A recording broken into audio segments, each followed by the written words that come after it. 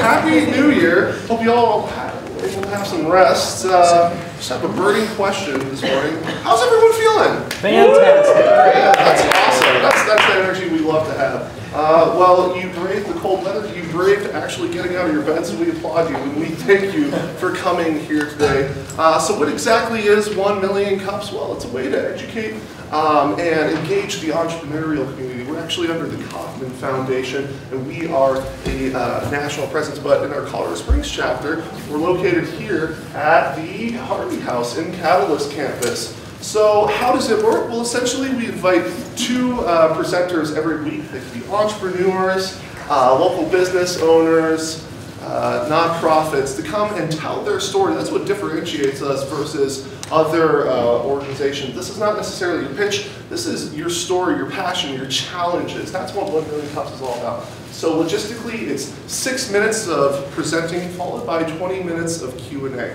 Um, of course, we couldn't do uh, any of this without a couple of key uh, crucial figures. Number one is Catalyst Campus, this beautiful space that we're in today. So Randy and Marcello would like to say a couple words just about uh, the Catalyst Campus and where exactly we are. I, I thank everybody for coming. Who, who's, who's that first? Who's been here for the first time? Very first time. Well, well, well welcome. So, um, if you guys don't know what we do over here, we are a center of innovation and imagination. Right? We demand people bring their imagination to this to our facility here. Uh, we have a collaborative workspace over here. We have business services center in the back of the building over here. We have lots of companies who are grounded in the campus and uh, they, they lease space from us and you know we, we, we, we set up networking events and we have all kinds of uh, fun business activities uh, throughout the whole uh, year. So we've got lots of fun stuff planned, so stay plugged in. Um, come and see me. I, over here, I'm the operations director here, and, uh, and I love to speak to, to my people. You guys are my people. Okay? So, uh, Cool. uh, yeah, so come see me, and, uh, and, and we, can, uh, we can support you in, in your business needs. Thank you. All right, thanks, Marcello. Of course, we couldn't do this without one more key figure. That is our coffee sponsor. Um, and by the way, if you're if you're kind of feeling a little groggy this morning, I have excellent news for you. We indeed do have coffee over here, so please drink to your heart's desire. But of course, we couldn't do our coffee without our coffee sponsor. This month, it is Galaxy Fest with Brian and Linda. Ooh. So, just say a few words.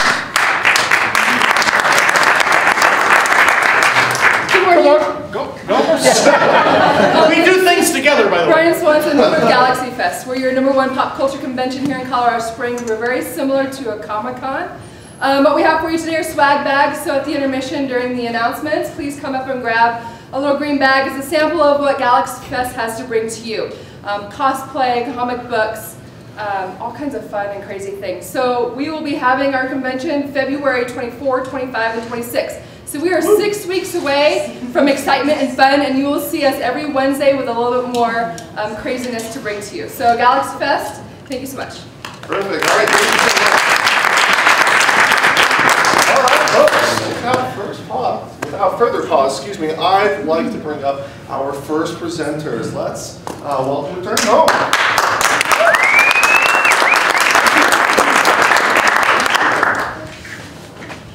Hi, I'm Lauren. And I'm Susan. Uh, I founded Returning Home two years ago now, I guess. And I was a funeral director here in town um, for many years, but in 2008 specifically, I was working at the funeral home, went home and watched a documentary on PBS called A Family Undertaking. And it was about families across America who were caring for their own dead. And I, as a funeral director, had no idea that that was possible. And it really inspired me, it spoke to my heart, and so I brought it back to the funeral home. And immediately they said, no, don't tell families that they have choices. Don't tell families that they don't have to do embalmings. Don't tell families that they don't need funeral homes. And through the years as being a funeral director, I saw families, what's the word? Not sad, because obviously they're all sad, but not grieving, not, not processing their grief in the right way because we did everything. Sometimes they didn't even see their loved ones. You know, they've been in a nursing home, they made a quick phone call to us, we picked up the body, did all the preparations, and they saw him again for the first time embalmed in a casket, not really the way that they knew them or remembered them, and had no process in it, so they didn't have a way to process the grief. So I really spent a lot of years studying home funerals, grief in America, um, what we would call a death denial nation, which we really are. We don't like to talk about death and dying. And so we started death cafes to really get people talking about it. And then we start, or I started returning home um, through the Pikes Peak Community Foundation, which now we're not under the Pikes Peak Community Foundation. Um, and we teach workshops on how to care for your dead at home, which I know I'll have a lot of questions about that, so we'll go into that further in the 20 minute section. Um, but really what we do as an organization is public speaking. Because it's one thing for me to teach how to care for your dead at home. It's another thing if you don't even know that that's an option. So this last year, we had our first home funeral in Colorado Springs. She had come to one of my workshops um, earlier in the year, and then her husband went on hospice care. And she called me and said, you know, hospice says it's going to be soon. You can come over to the house and kind of get everything ready. Went over, she had already got everything that I told her she needed in the workbook. And she called me maybe two days later, and he had died. And we went over and we helped her dress him and bathe him. We did a little blessing of his body, and it was probably the most beautiful thing I've ever seen in my life. Um, and she said, you know, I, more people need to know about this. So we're starting off the new year once again telling people and reminding people that there are other options for death care and that talking about death is important. I always say I love life so I honor death because they go together. They're not, it's not one or the other, it's the whole picture. Um, so that's really what Returning Home's job is, is to talk, educate, make death not so scary so people are more open to thinking about these options and then of course, teaching the actual workshops where we walk you through how to do it. It's not that strange. Go back to like the 1940s and before, that's what most people did. It, funeral homes were not common until after World War II. So keep that in mind when you think of your questions later. um, and then this is Susan. She's been running the Death Cafes for the last year. And she'll be teaching a workshop next month. Mm. February 11th. 11 to 3. It's just going to be a mini workshop. Um, and when we teach the workshops, it's not like we're going to say, okay, here's all the information and you're done. We're still here to support you. Like Lauren said, our first uh, home funeral was a woman who had attended one of the workshops. And part of the challenges that we see is that we don't have community like we did. How many of you know your neighbors? That's right. So you, there's a lot of people in here that you could go to your neighbor and say, hey, this is what I want to do for my loved one. Will you come support us? And it can be a lot of different things that need to be done. Filing the death certificate. Um, food is always important. But back to the workshops, when you come in, it's kind of a one-on-one -on -one class. It's letting you know what is allowed in the state of Colorado. And the state of Colorado is pretty open um, as to what you can do. Things like embalming are not required in any state. Um, vaults are not required in any state. Now, if you're looking at private um, cemeteries, that's a whole different issue. But part of what we want you to know is that you have choice. And we want you, I hate to break it to y'all, but we're all gonna die. and having that piece so that you know at the end of your life what you want done and letting your family know. Law enforcement has no idea. Even the hospice that uh, Lauren and I have volunteered for, they're like, what? We can do this? Absolutely. I had done a presentation there twice, and I still had people on the staff saying, oh, I didn't know you could do this. So education, education is really what we do as returning home. That's really our education and support and bringing community together because that's what really matters and that's what 1 Million Cups is. I mean, we're a community, we're here to support each other, and I feel that that lacks kind of in our death care currently. And so we really just want to bring people back together. Absolutely. And even if we're talking about death, the really key part is so that you live your finite lives fully, that you're not just existing. Hmm. in that. So, questions? All right. Yes.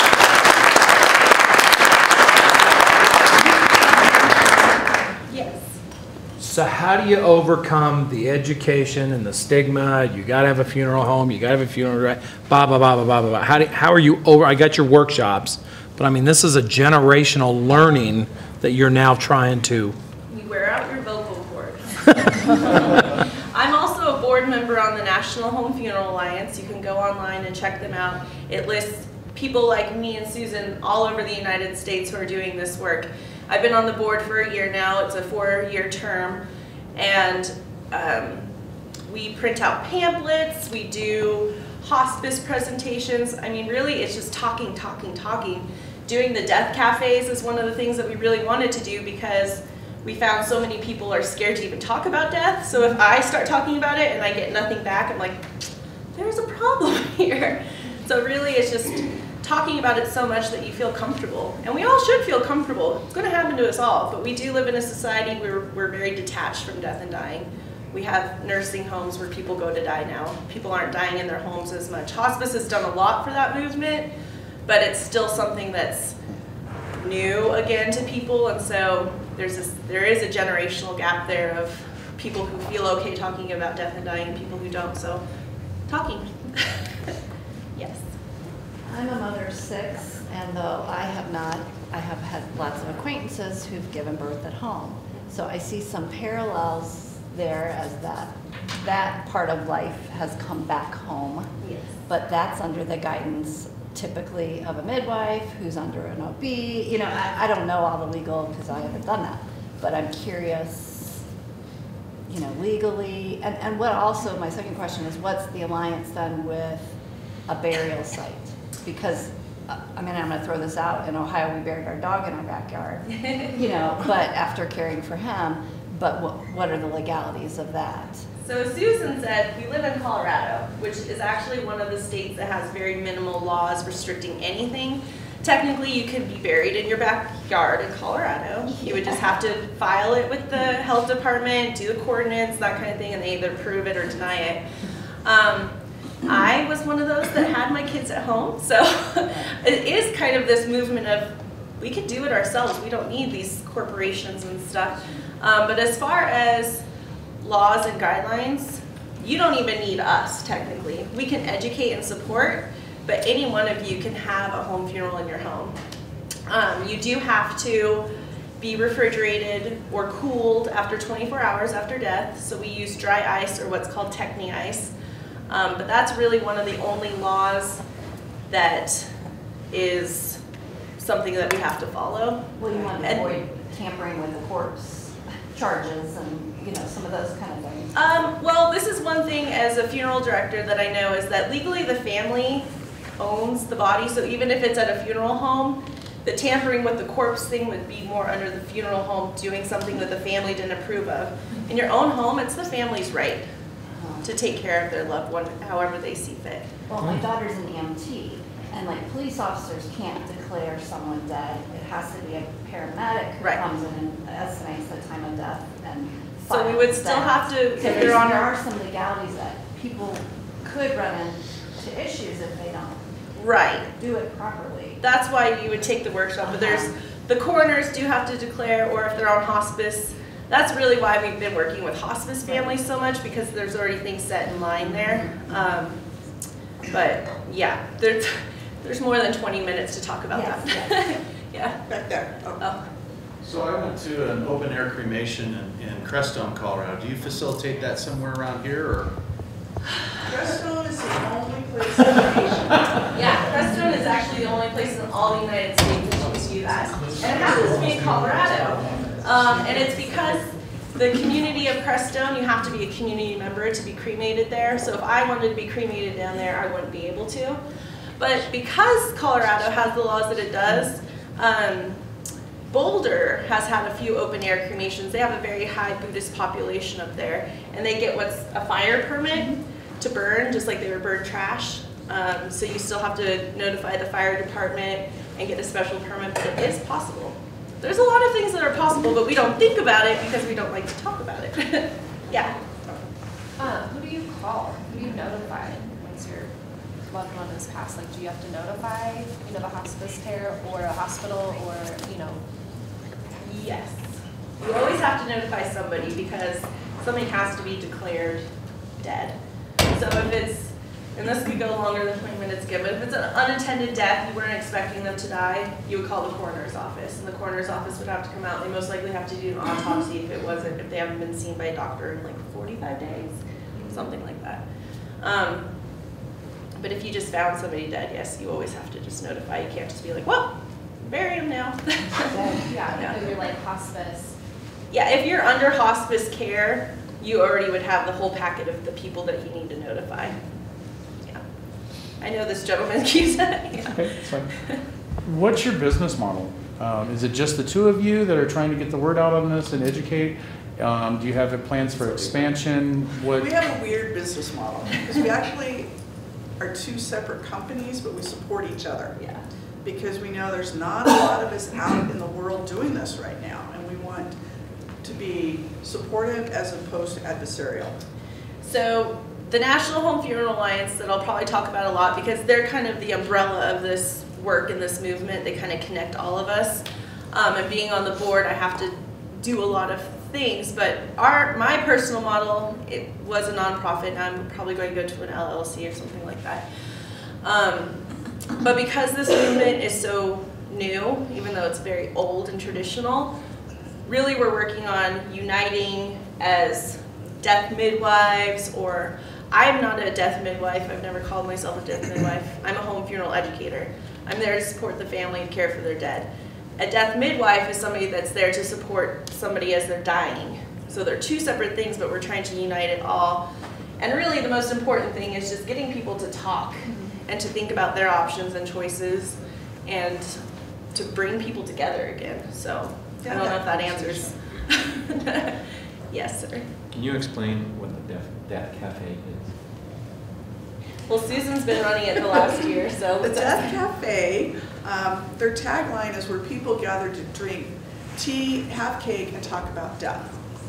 And it can be anything, yes. It's one of those, you're laughing.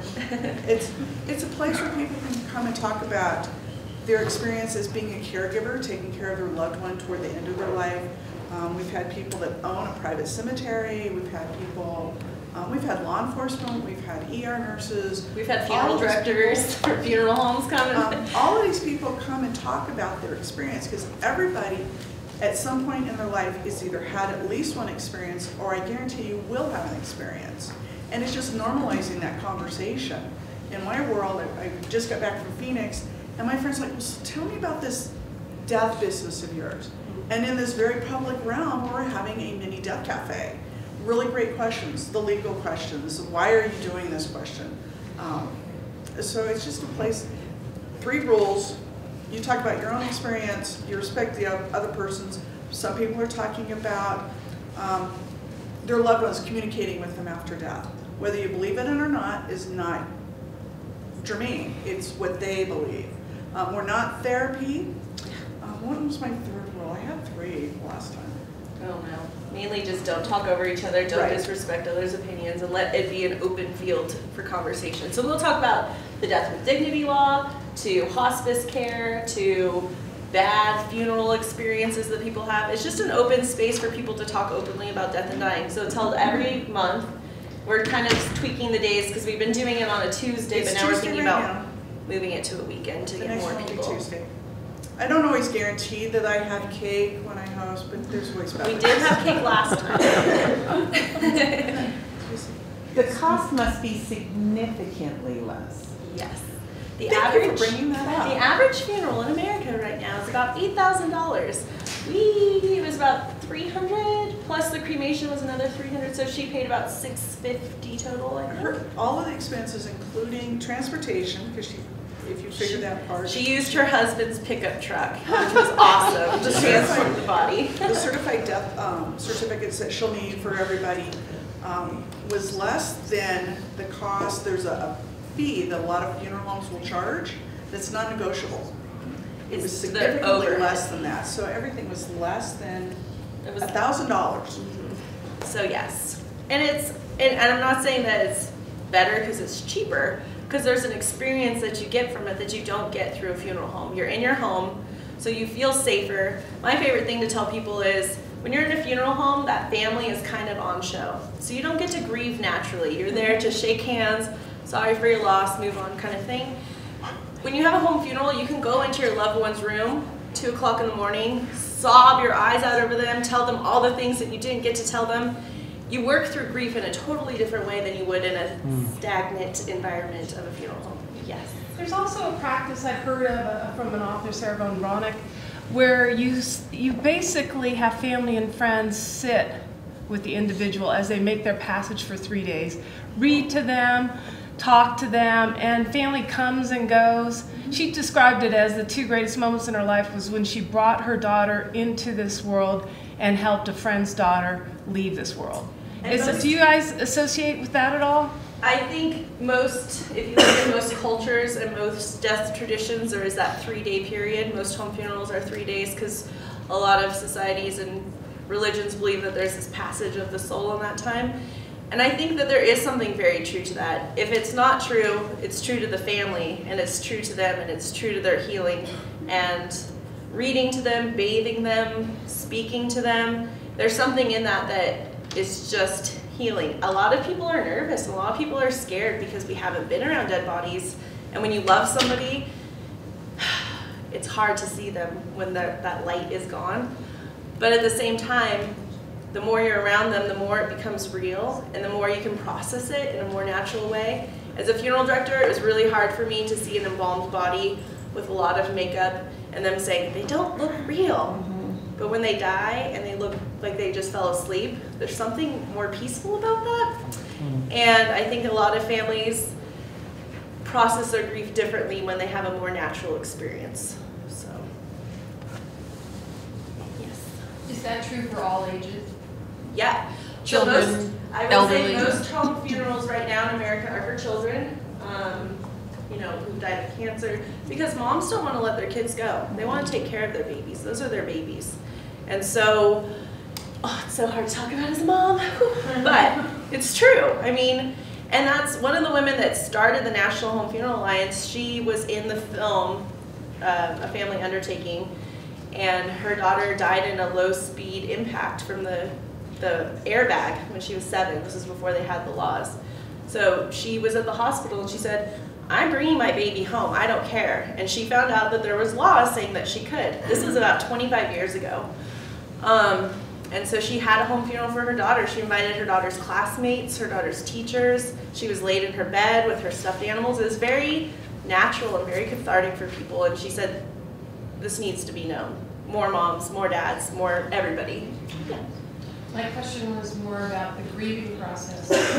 Are children okay with grandpa in the other room? Kids are As well as amazing. the older? Yeah. It- Are all generations affected positively as opposed to? Didn't I talk about this on your radio show? Yeah. So, um, I used to get this question as a funeral director a lot. Can my kids come? Yeah. Make death natural and part of it.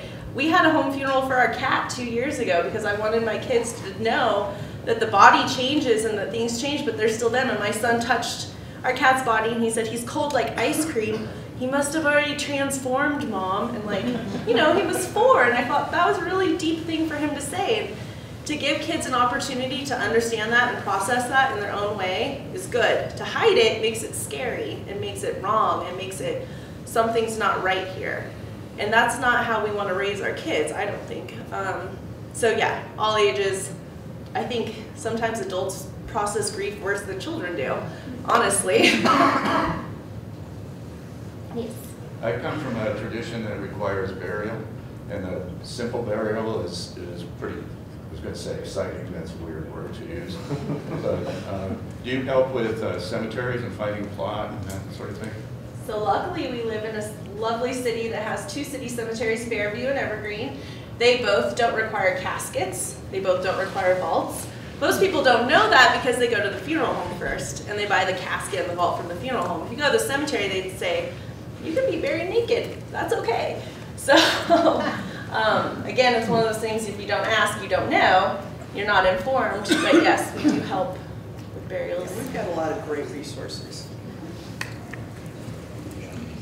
How do you make money? Do people hire you to walk through this process? That's a fun question. Don't. Yes, we do. We charge a small fee for the workshops. Um, We charge a small fee. If we need to support the families, if they call and say, I can't do this alone, I don't have friends or family. I mean, minimal, but we do really need to work on that because I want to make a living someday and feed my So this isn't your full-time job? This is- No. No, this is the direction we're going. We have another job that supports us so that we can do this, because it's so vitally important that people have choice. And you don't know what your choices are if, how many in here, I'm gonna ask this question, how many in here have a funeral plan? Oh, I don't see any hands. Oh, you hands. Yeah, of course. But most people wait until somebody dies. How many had heard of home funerals until today? Yay! Rabbi Mel, did you want to ask the final question? No, I just wanted to uh, comment on what you said about burial, both in the Jewish tradition and the Muslim tradition. 24 uh, hours. You don't see coffins. Mm -hmm. They wrap them in a sheet and they place them in the grave, And we do that too. which, which sermonically, he says, rabbinically, death is going to bring peace to the Middle East. Because we're together. So maybe one more question before our final question. This is not a question as much as a statement. I think um, what you're doing is fantastic, and I think you should look at yourselves and realize that it's worth money. Because what you're offering is probably better. I'm not sure I'd be willing to do it yet, but it's probably better in the long run. Yeah, come to a workshop. And, and, and if, and if the average is eight thousand, and they get done with a thousand, what you're providing, it may just be information in your eyes, but what you're providing is enormously, is worth a lot of money. So I don't think you should have a problem turning it into a career. Thank you. I'll I just find it all refreshing. Thanks. And we'll, we'll have cards, if you have questions, we'll be hanging out later also. And who would like to ask our super awesome and amazing special question? Bob? Guys, what can we as Colorado Springs do for you? Spread the word. Yeah, spread the word. If you if you have a magazine, if you print, write an article about this. Um, if you have places that you think, church, anything where you want us to speak, we'll come speak. The more information we can get out there, and the more people think about it and question things, that's that's the start for everything. That's the foundation that we're working on. So.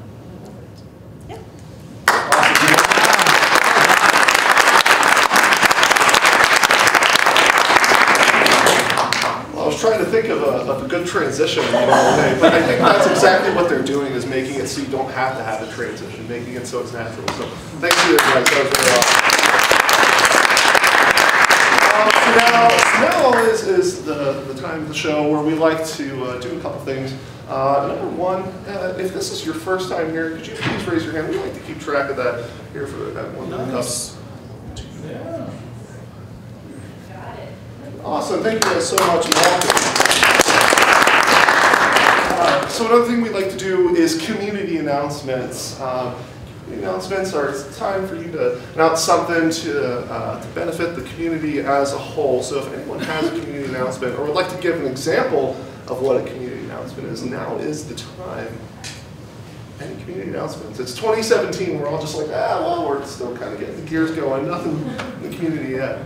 Nothing? Nothing so? Sure, I'll throw something out. Yeah, please. It's, it's on the borderline. Sure, But that's fine. That's Does anybody fine. like magic? Yes. Yes. Do you like a mentalist to read your mind? Yes.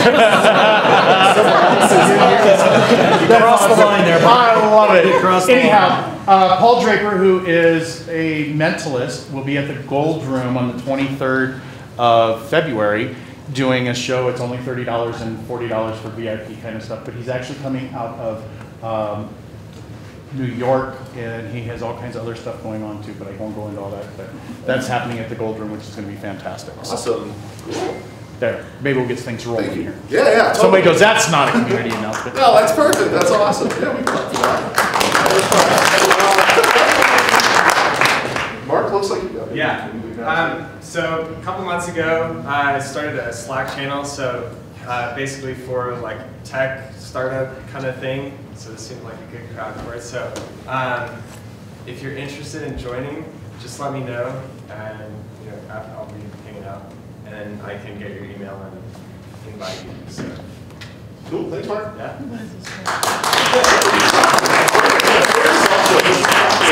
Um, yes, please.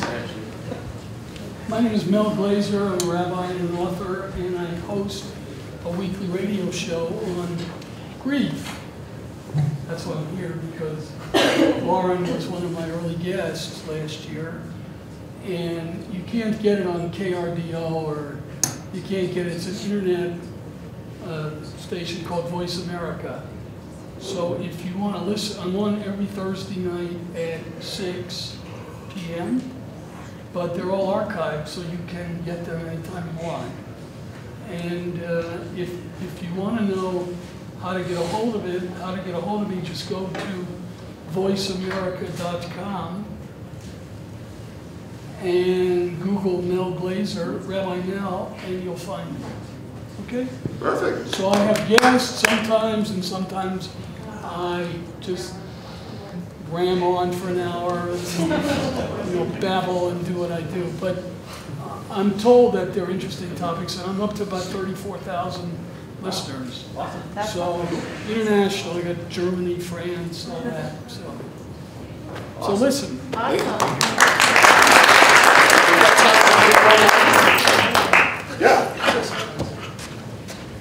Uh, the Colorado Springs World Affairs Council has an event coming up on January 18th. It's going to be over lunch, and it is on cybersecurity, something I think uh, everyone has a, a stake in. So if you don't have lunch plans on the 18th, come see us. We'll have a really good uh, presenter. Is sorry is James Lewis. Oh. sorry. I- I don't have his whole bio on me yet, but I'll have it next week. I Sounds guess. like a cool guy. Where? Where? It's at the Pinery on the Hill is the location of the event. Excellent. Awesome. Well, Bring up someone you all probably know in the community. If you don't know them, you know Story Coffee. Don, would you like to come? Yeah. All right. Let's get it. Good morning, how's everybody doing? Great. Awesome. That's a good enthusiastic response. You do look pretty good. In fact, you should turn to somebody real quick and just say, Don, you look marvelous. Just tell somebody. you look marvelous. Well, I have a, I have a question for this morning. Uh, it's kind of a weird question. It's not a hard question, it's kind of a weird question. Um, can you imagine 100 square feet? Yeah. Think about that for a second. 100 square feet, so maybe it's like 10 feet wide by 10 feet, you know, long. Um, now imagine that, and don't, don't associate with this picture that's up here quite yet.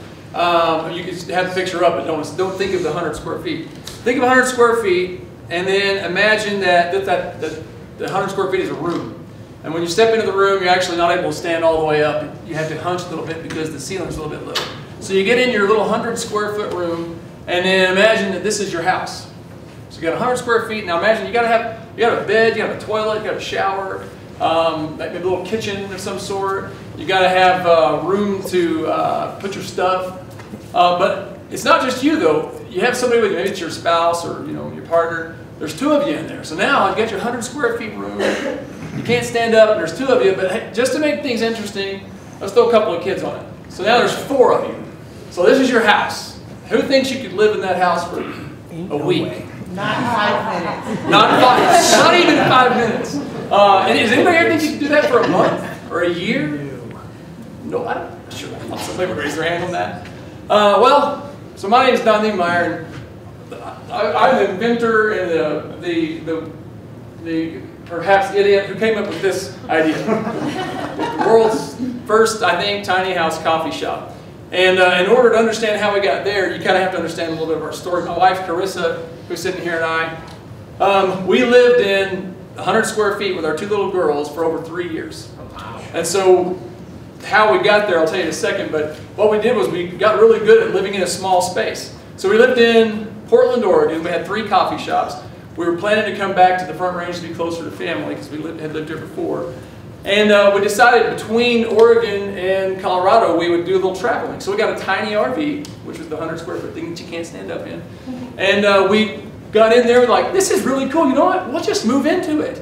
And so we did. We thought we were selling our shops. We'd sold two. We had one left to sell. We thought we'll sell that third shop and then we'll be ready to you know go on the road. Well, it took two more years to sell our, our final shop. So that's how we became to be, you know, as I said, accidental minimalists. Literally living on the streets of Portland, um, acting like normal people, dropping our kids off at school, um, you know, running our business while, you know, living on the streets. And uh, the whole thing was a hilarious blast. We loved it. We had such a great time. But what we accidentally did was we accidentally got really good at living tiny. Then two years of that, we took off on a national tour. We did uh, 200 coffee shops, over 200 coffee shops. We were doing some research for our next you know, thing in coffee. Uh, we did some consulting, did a little uh, writing for Barista Magazine, uh, judged a few coffee competitions. We were pretty deep into the world of coffee. But we wanted to do something you know, interesting with our next move. You know, we didn't want to just make another coffee shop. Somewhere along, you know, that, along that journey, um, as we were kind of wrapping up our tour, like I said, we've now been living in this RV for about three years. The idea occurred to us, you know what we can do? We can build a coffee shop in a tiny house. And we thought, well, we'll go find out who's, who's done that. You know, we'll see some other people have done this surely. We got to researching. We didn't find anybody else who had done exactly what we're talking about, which is a tiny house where you can come inside and sit down, have a nice, elegant, high-quality experience, hopefully, um, high hospitality and nice, you know, dishware and everything. We hadn't found anybody else that had done that. So, armed with our excitement and ignorance, we built this. and uh, we didn't know what we were going to do with it. We thought, you know, if we build something really nice, maybe somebody will ask us to the to the party, so to speak. Well, the city of Colorado Springs is the one who found out about us and said, hey, we've got an ice skating rink in the middle of Acacia Park, and we would love, is that my time? Okay. Someone's talking. Um, they said, we'd love for you guys to come and set up in the middle of Acacia Park. So that's how we got invited to Acacia Park. We now are sitting there. We've been there for a little over a year. We're right over here um, in Acacia Park. We did move from the middle of the park to the edge, but we're sitting there and uh, trying to do great coffee. And there's three things that I want you to know as we're wrapping up here uh, for my time and before questions and, and answers. Uh, number one is that we are not um, just trying to make a buck. What we're trying to do is kind of we're, we're uh, trying to kind of invent a new model of presenting something with lower overhead and just see if it works. You know, to us, making a buck is boring. We want to do something more interesting than that, so hence this. So that's number one. Number two is we love Colorado Springs. Um, when we were traveling around, we had lived in Colorado Springs before. We went to, you know, like I said, 45 different states, lots of different cities. When we came back to Colorado Springs, we got, I guess we kind of fell in love again because we were like, man, there's a lot of energy and, and just momentum, particularly in the world of coffee, but also lots of things. And we said, this is the place for us. So we love Colorado Springs. Number three is we are really passionate about coffee. We think we have, you know, we think we have great coffee. Um, we don't know of anybody else who has traveled the nation, found the favorite coffees they could find, and then brought those to, you know, one place to present, um, you know, some of the finest coffees in the world with, uh, with the, our customers. We like to say, we call our company Story Coffee because we're sharing the stories of these amazing coffees. And now we've just launched a roasting program and we're doing the same thing that we're sourcing great green coffees, roasting them in such a way as to kind of reveal their best qualities and sharing, you know, what we think is really great coffee. Of course, you have to be the, the judge of that. But that's who we are, that's what we're up to, and that's my presentation.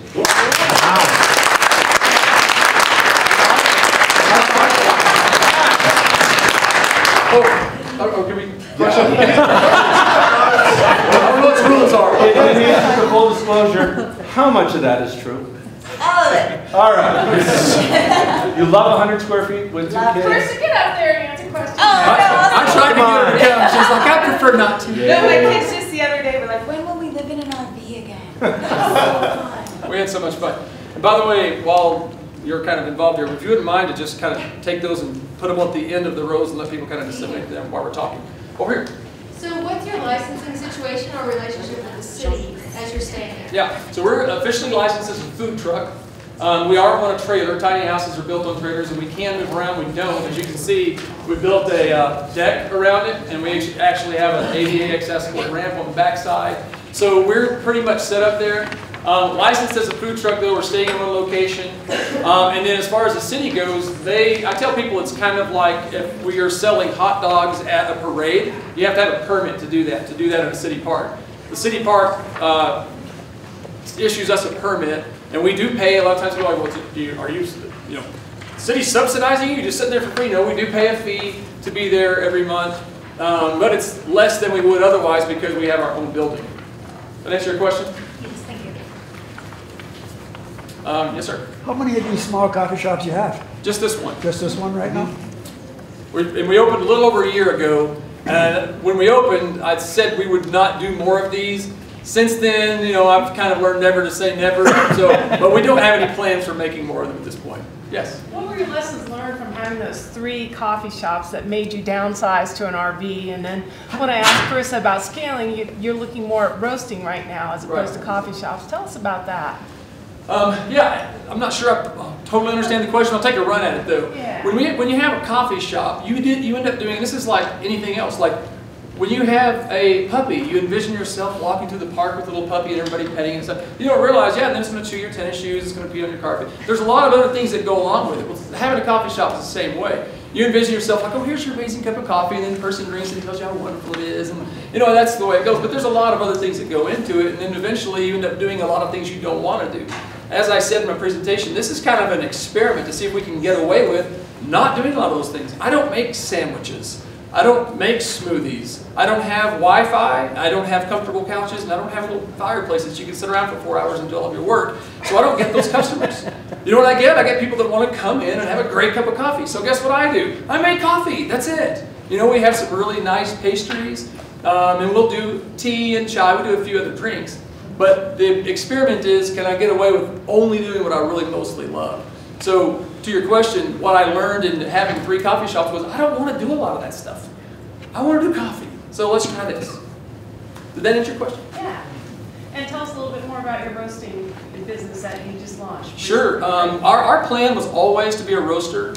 Um, we started off sharing the stories of coffees that we had found in our national travel, but we always knew that we would want to add roasting to the component. We just, you know, for, for a lot of reasons. We think we, we like, like everybody else, we have things that we want to say, right? And we can say those things when we're roasting coffee.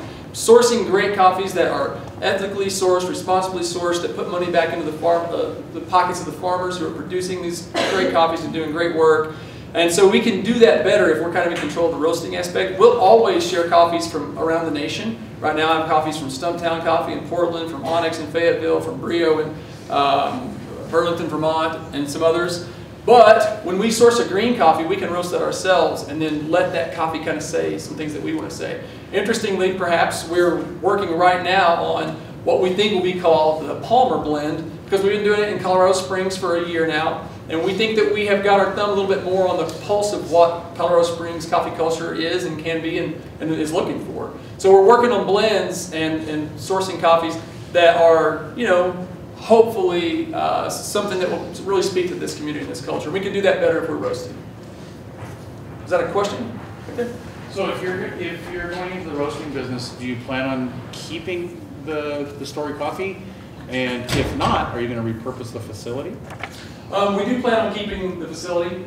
Um, when we were building this, as I said, we didn't know. I mean, I mean, imagine you're literally physically building a thing. You don't know if it's going to have a home when you're finished with it. So we always joked, hashtag or, or slash, not joked, um, that if this doesn't work out, we'll just move into it. You know, I, the, space I live was almost half of that size. You know, so we don't have lofts in our tiny house. Most tiny houses do. We could, but we could stick a couple of lofts in there. We could live majestically in that. By the way, we have upgraded now. The four of us live in a one-bedroom apartment.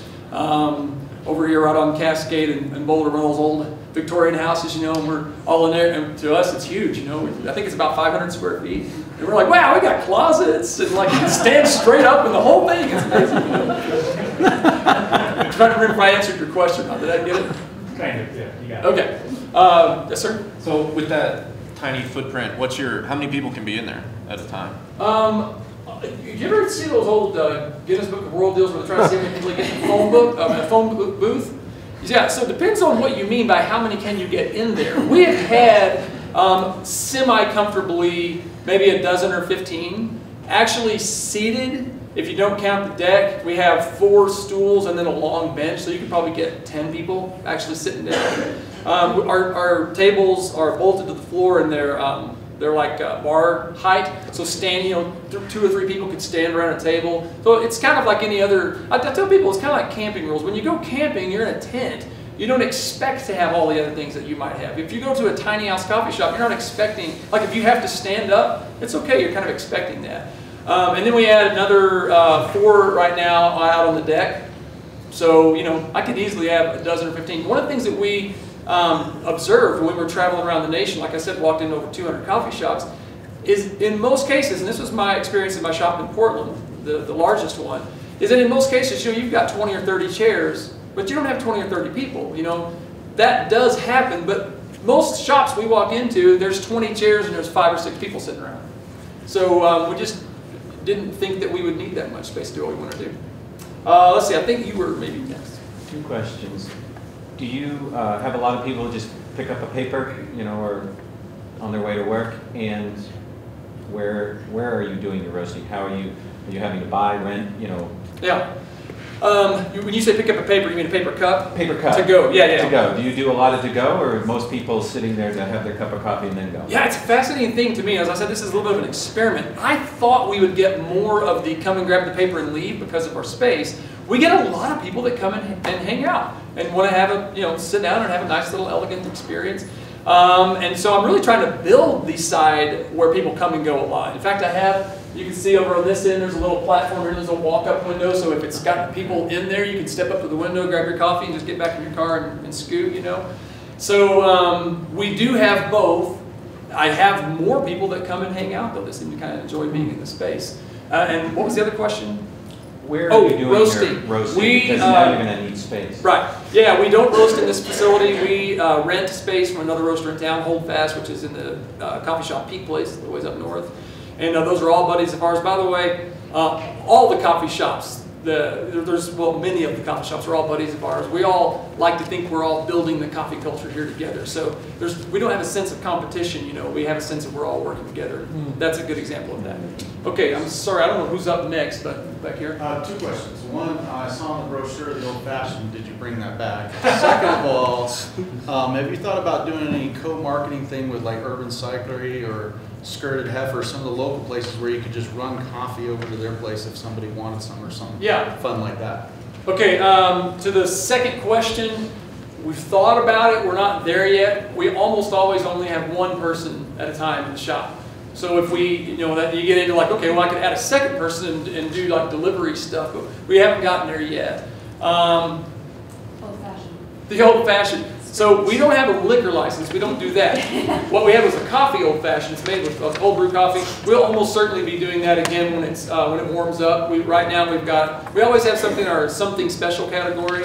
Right now it's a, it's a candy cane uh, mocha, which is basically a peppermint mocha. We don't do a lot of that stuff, but we kind of toss people a bone now and then, like something a little bit, you know, a little sugary and sweet, whatever. We really like to focus on the coffee, but we'll do something like the coffee old fashioned. And, and yes, it'll probably be coming back in the, in the summer. That was my favorite drink, and then la- last time I went in there, I was disappointed you guys didn't Yeah, have it. yeah. So it's kind of a bummer. Well, always, always rotate things out. Yeah. Yes, back here in the very back. In that you're the first coffee shop of this kind in the city, did you run into issues with the permitting and stuff? Do you have an occupancy permit when you were talking about square footage and space and everything? Yeah. Did you run into an issue where they didn't know what to call you or how to identify you in terms of that licensing aspect of it? And I'm- wondering why you are not in your business model projecting the franchise concept. Okay, well, the second question is very easy. I don't want to work that hard. Like, you heard me talk about simplicity, right? Like, I'm all about, you know, we close at four and I go and have supper with my kids. You know, like, I don't want to be all over the place. I mean, that's that's what this model is all about. How can we do this as simply as possible? And then I've got things I want to do, usually surrounding my family. Um, back to your first question, we didn't have a lot of problem with that, and the reason that we didn't, I think, as best as I can tell, again, I'm, I'm not, we're making this up as we go. There's not like a playbook that says, here's how you have a tiny house coffee shop. When I went to any of the governing authorities, I brought them answers and solutions, not questions and problems. So I didn't come and say like, hey, I want to build a tiny house and put it in the park. How do I do that? Because they wouldn't know. They don't have a book that they can pull out and go, well, here on page 473, paragraph 5, it says you do this. There is no such thing. So um, when people, uh, especially bureaucratic systems, are faced with problems, the default answer is no. So what I did was I came and I would always be moving my head like this and say, hey, look, I built this thing. We're licensed as a food truck. And they go, oh, food truck, we've seen those before. Yeah, we're going to put it over here like the food trucks. They go, okay, let's do that, you know. Um, because it is a little bit of, I'm not trying to insinuate that anybody's, you know, we're not pulling the wool over anybody's eyes, but you've got to bring a solution. Hey, we have this, it's a little weird, we're planning on doing it this way. That works, right? And then, you know, usually people are like, yeah, that works. You know, and so that's the way we kind of ran at it. Always bringing solutions, not problems. Um, yeah, I could talk about that a long time. What is your occupancy permit? What's posted? Um, I'm not sure I want to address that in this in this Okay. place. I don't have enough information to give that a, a fair and complete treatment. Thank you. You're welcome. Come see me. uh, yes. How is your relationship building now that you've been there a year or so uh, with the, the urban population? How are things going? Um, very well. People, um, at least to our face, claim that they love us. Um, they are like, man, this is the coolest thing ever. Uh, like the gentleman that had the coffee old fashioned, you're like, I can't get this anywhere. Wow, I'm drinking a, an amazing cup of coffee from, you know, Burlington, Vermont, you know, et cetera, et cetera, et cetera. Um, but they don't come back as often as I would like for them to. Let me be more specific. Sure. Uh, residents of Acacia Park or the, the homeless down there. Yeah. How's that flow for you? Oh, sure. That's easy.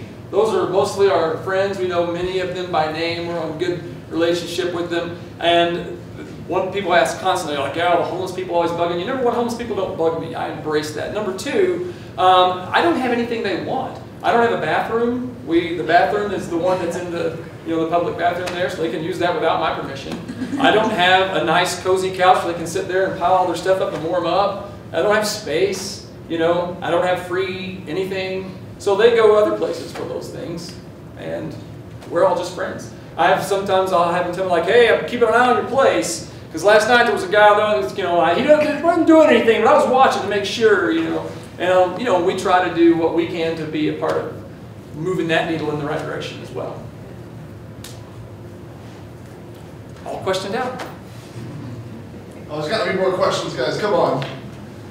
So, do you have a jar where people can put in money and that, that money goes to give free coffee on cold days to homeless people?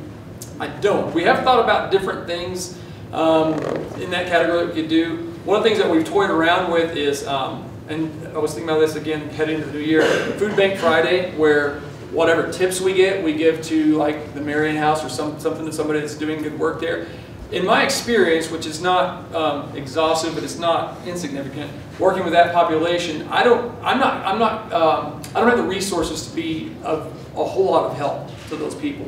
So if I start into that world, then I'm getting it over my head, and then I start having expectations that I can't fulfill, which might ultimately be counterproductive to helping them. So if we can do things that involve ourselves as a company into uh, organizations that are properly resourced to help that population, well, that's more what we're interested in. Other than that, my big main contribution to their lives is I treat a homeless person that I see just like I treat you, which is respect, dignity, and if you got some money and want to buy something, that's great. If you're being mean to somebody, I'm going to tell you to cut it out. You know, I, I try to be, treat everybody, you know, the same. That's my hope. Can I touch on that question? Yeah. Um, one You of gotta come up front though. One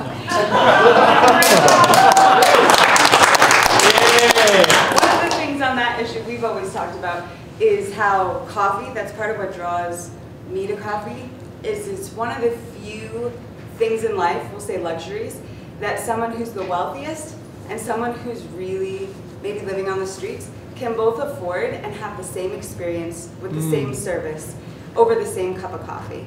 And so just the other day, um, we were talking about competition. We have one of our baristas going to a competition in a couple of weeks. And her and I were going through all this competition stuff. These two guys came in, and one of them had just gotten off the streets, and he was trying to get his friend into rehab. They both came in, they both had the money to buy a cup of coffee. We grabbed cups of coffee and sat down and listened to their story and talked. It feels like a lot of times it's real easy to give money, but it's hard to give that dignity and that conversation. Mm-hmm. So for me, coffee is a great way to bring that at a, at a low cost where most people can afford and have an experience that's really meaningful in their life. Um, so like Don said, we try and give to places that are giving all of that and what we try and give is a little more of that human connection. Right on.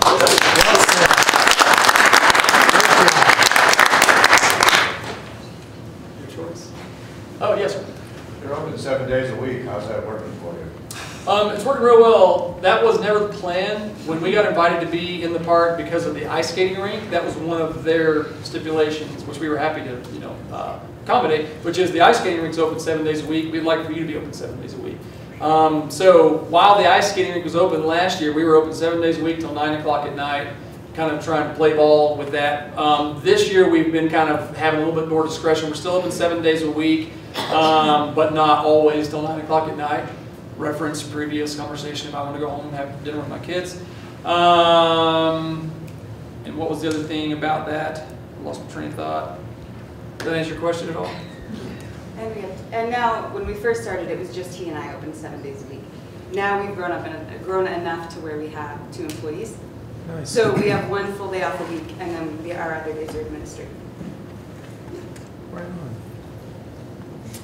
Any other questions before final Yeah, super? but, quick question. Logistics of brewing the coffee, I mean, you're, are you schlepping water? Do you have like RV hookups? I mean, how does that work? We're, we're practically speaking, we're hooked up pretty much like an RV. We built it like an RV with options. I've got a big 40 gallon tank I can run off that. Right now we draw, again, if you look at the picture, you can see the, the old historic band shell is where we sit right next to that. And we have uh, water that comes out of that and then we drain back into that, into the floor drain. Um, and that all meets the uh, requirements for food truck operations. Uh, ditto electricity, our electricity comes out of that building as well. Cool. Yes. What's your pastry source? Is that something local or you're not? Yeah, it's, it's, uh, I- I'll just go and tell you, I have the best pastries in town. Um, and that's because there's a girl named Molly who has already forgotten more than most of us will ever know about making amazing pastries. And we're her only account. She calls her company Persnickety Bake Shop. And she hadn't decided yet she wanted to bite off the whole renting a full kitchen and everything. So she's using cottage laws, making that of her house, and she brings in stuff fresh every day. And uh, she does an amazing job. And so that's where we're at now. I hope that she, you know, launches out and does some more because she certainly could do well with it. Um, but that's who we're using. Her, her official name is Persnickety Bake Shop. And who would like to ask our final question? It's super special. What can we do as a community to support you? Thank you for asking. Um, ask a kind of question for you relative to that. How many of you guys have ever been out to eat at a restaurant? Oh, okay, a lot of you, good. Um, sometimes you might go out to a restaurant, you might want to get a cup of coffee. Um, and if you have done that, and if you've you know existed in the community, you might know decision makers in those restaurants. And I would love to have open doors into those places so I can talk to those decision makers about bringing our coffee and uh, being a part of uh, the offerings that they have. Restaurants, of course, coffee shops. Um, we're, we're currently, for example, in the Wild Goose. They, they're a multi-roaster. They use different um, coffees. We're one of the coffees that they're serving right now. Um, what I see, grocery stores, hotels, anybody who serves coffee. Um, one million cups, presentations, wherever there's coffee, we would like to be there. Um, so if you know anybody who is a decision maker, I would love that connection. That would be the way you could help me most right now. Do you come to Woodland Park? Um, I'm going to say yes.